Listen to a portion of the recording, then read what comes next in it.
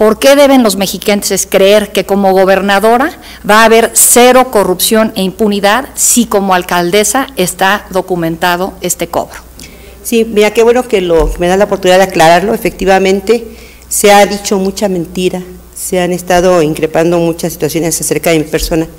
Yo lo que único que quiero aclarar es que la gente que me conoce, los ciudadanos que me conocen, mi familia que me conoce y mis amigos que me conocen saben quién es Delfina Gómez. Pero esto fue Y un que- fallo del tribunal, esto no es un una cosa fallo, mediática. Si lo, si, lo, si lo analizas, fue un fallo que se hizo efectivamente a un partido, no a una persona. Exacto. El- la multa fue para el partido Morena. Yo, yo creo que ahí es donde empieza el error.